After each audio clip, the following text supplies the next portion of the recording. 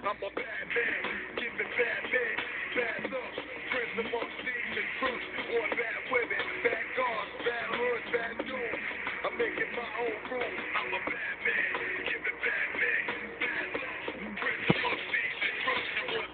Yo, what's up, Chicago? This is Mike Mass Show. I just want to give a shout out to my boy, Super Bad Santana Starks. Way to go last night, man. Anarchy was off the hook.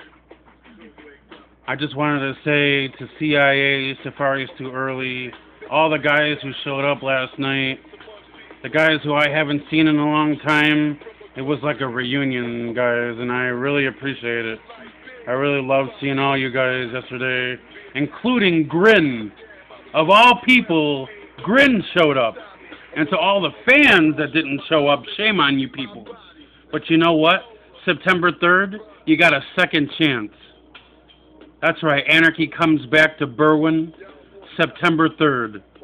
So check out Facebook, check out anarchyprowrestling.com for more information.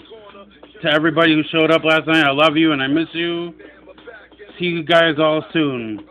From the one and only Mike Mass Show.